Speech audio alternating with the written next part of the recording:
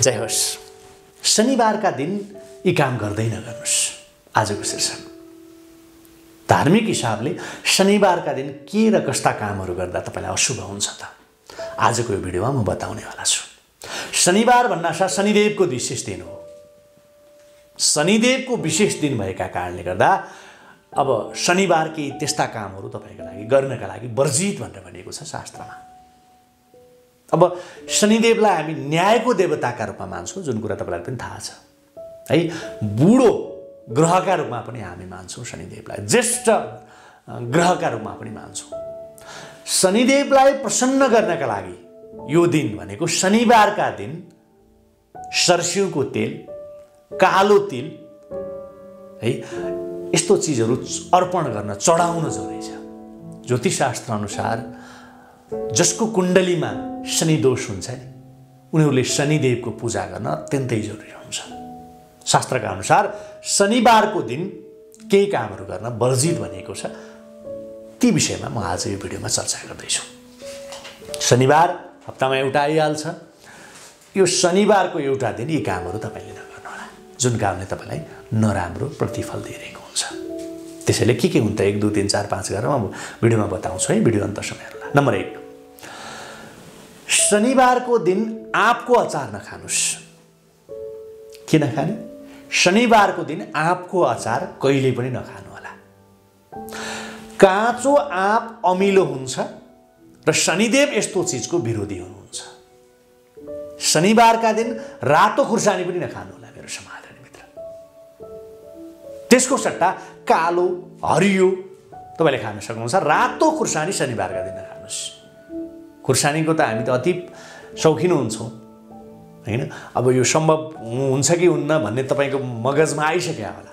शनिबारका दिन खानुहोस् हरियो खुर्सानी खानुहोस्। रातो खुर्सानी कृपया शनिबारका दिन खानुहोला तपाईँले अब तपाईँको जन जन्मकुण्डलीमा शनि दोष छ भने त यो बहुतै नराम्रो हुन्छ। है ख्याल गर्नुहोला अब कुण्डलीमा शनि दोष नभएका व्यक्तिहरूले पनि यो गल्ती नगर्नुहोला शनिदेव यस्तो चिजको विरोधी हुनुहुन्छ। शनिबारका दिन रातो खुर्सानी तपाईँ नखानुहोस् काँचो आँपको अचार नखानुहोस् नम्बर दुई शनिबारको दिन रक्सी पिउनाले कुण्डलीमा शनि शुभ स्थानमा हुँदाहुँदै पनि शनिको शुभ फल तपाईँलाई प्राप्त हुँदैन भनेको छ। शनिबारको दिन दुध वा दही सेवन गर्दा त्यसमा बेसार वा सक्खर मिसाएर खाने गर्नुहोस्। अर्को कुरा। के गर्ने? दुध दही वा दही खाँदाखेरि पनि तपाईँले बेसार अलिकति बेसार थोरै बेसार अथवा थोरै सक्खर हालेर खानुहोस् तर डाइरेक्ट चाहिँ नखानुहोस्। यो पनि अत्यन्तै महत्त्वपूर्ण कुरा हो। अर्को नम्बर। शनिबारको दिन घरमा फलाम वा फलामबाट बनेका वस्तुहरू नभित्र्याउनुहोस्। किनेर नल्याउनुहोस्। नुनको खरिद गर्दा पनि दरिद्रता भित्रम छ शनिबारका दिन। शनिबारको दिन नुन पनि नकिन्नुहोस् फलाम पनि नकिन्नुहोस् दुईवटा कुरा कहिल्यै पनि नकिन्नुहोस् शुक्रबारका दिन हेर्नुहोस् न। कति मान्छेहरू कस्तो बानी हुन्छ? भान्सामा तेल हाल्यो खुर्सानी हाल्यो नुन हाल्ने बेलामा नुन हुँदैन। अनि पसलतिर दगुर्ने बानी हुन्छ।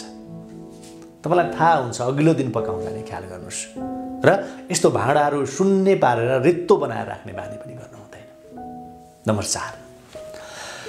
काठबाट बनाइएका सामान पनि शनिबार किन्नु हुँदैन भनिन्छ। शनिबार तपाईँले काठबाट बनाएका फर्निचरहरू पनि घरमा नल्याउनुहोस् है त्यसै गरी शनिबारको दिन सरस्युको तेल दानको अति नै महत्त्व छ। त्यसैले अब त्यो दिन तपाईँले सरस्युको तेल दान गर्नु बहुत राम्रो हो। तर फेरि सरस्युको तेल किन्न चाहिँ हुँदैन है। तेल किन्न हुँदैन शनिबारका दिन। के के नकिन्ने नुन नकिन्ने फलाम नकिन्ने काठबाट बनेको सामान नकिन्ने तेल नकिन्ने आँपको अचार नखाने रातो खुर्सानी नखाने मैले यहाँसम्म भने। है अब यस्तो कुरा पनि वर्जित गरेर हुन्छ भन्न थाल्नुहुन्छ फेरि भन्यो भने होइन? कुरा गरे कुरैको दुःख हुन्छ। शास्त्रले यी कुराहरू व्याख्या गरिरहेको कुराहरू मैले तपाईँलाई भनिरहेको हुन्छु। तपाईँलाई के लाग्छ? यसले मनोमानी ढङ्गले आफू खुसी भनिरहेछ यसले जे मन त्यही बोलिरहेछ जस्तो पनि गर्नुहुन्छ कति मित्रहरूले। कृपया मैले मनोमानिल्य ढङ्गले यी कुराहरू भनिरहेको छैन। शास्त्रगत रूपमा शनिबारका दिन शनिदेवको दिन मानिन्छ शनिबार। त्यो कारणले गर्दा यी कुराहरूलाई ख्याल गर्नुहोस्। लेखेर राख्नुहोस् बरु। आँपको अचार नखाने होइन? त्यसै गरी तपाईँले के नखाने? अर्को दुध दही खाँदाखेरि पनि थोरै बेसार वा सक्खर मिसाएर खाने। होइन? रातो खुर्सानी नखाने। है? त्यसै गरी का फलाम नकिन्ने तेल नकिन्ने फर्निचर नकिन्ने। तर तेल दान गर्न चाहिँ हुन्छ फेरि। र अर्को महत्त्वपूर्ण कुरा शनिबारको दिन कालो रङको लुगा वा जुत्ता किन्न लाग्नु भएको छ भने पनि विचार गर्नुहोस्। कालो रङ सकेसम्म घरमा नल्याउनुहोस्। विचार गर्नुहोस्। शनिबार यस्तो वस्त्र यस्तो रङ उपयुक्त हुँदैन अत्यन्तै महत्त्वपूर्ण कुरा हो यो यो कुरा ख्याल गर्न जरुरी छ तपाईँले है हामी चाहिँ कस्तो हुन्छ आइतबारदेखि शुक्रबारसम्म काम गरेर हुन्छौँ आज त शनिबार हो आजै किनमेल पनि आजै गर्नुपर्छ है आजै ल्याउनुपर्छ तेल नुन तेल पनि आजै ल्याउनुपर्छ है फलामका भाँडाकुँडा पनि यही दिन ल्याउनुपर्छ फर्निचर पनि यही दिन ल्याउनुपर्छ है अरू दिन त फुर्सद हुँदैन आज शनिबार त चट्ट स्पेसल बनाएर खानुपर्छ आँपको अचार पनि त्यही दिन खानुपर्छ दुध दही पनि त्यही खानु खानुपर्छ। हामीले यस्तो गल्ती गरिरहेका हुन्छौँ। तर यस्ता गल्तीहरू शनिदेवलाई मन पर्दैन। त्यस कारणले यी कुराहरूलाई ख्याल गर्न जरुरी छ। हस्त मित्र आजका लागि यो भिडियोबाट छुट्ने अनुमति माग्छु। तपाईँका प्रतिक्रियाहरूको आशा राख्दै नयाँ शीर्षकको नयाँ भिडियोमा फेरि भेट्ने बाचा गर्दै तपाईँबाट छुट्नु अगाडि मेरो च्यानललाई सब्सक्राइब गर्न जसले आज पहिलोपटक मेरो भिडियो हेर्दै हुनुहुन्छ जसले मेरो च्यानललाई सब्सक्राइब नगरिकन हेर्नुहुन्छ उहाँहरूलाई कृपया सब्सक्राइब गरेर मलाई साथ र सपोर्ट गरिदिनका लागि म विनम्रतापूर्वक अनुरोध गर्छु र तपाईँलाई म कमेन्टमा भेट्नेछु। तपाईँका कमेन्टलाई म शिरोधार्य गर्नेछु। रिप्लाई गरेन भन्दैमा नरिसाउनु होला म तपाईँका एक एक कमेन्ट पढिरहेको हुन्छु। र मलाई आत्मविश्वास छ तपाईँका कमेन्टहरू महत्त्वपूर्ण कमेन्टहरू जुन कमेन्टहरूलाई मैले भिडियो निर्माण गर्न सकिरहेको छैन ती कमेन्टहरूको आधारमा म कुनै दिन भिडियो नै निर्माण गर्नेछु। अहिले पनि छुट्ने अनुमति माग्छु जय होस्।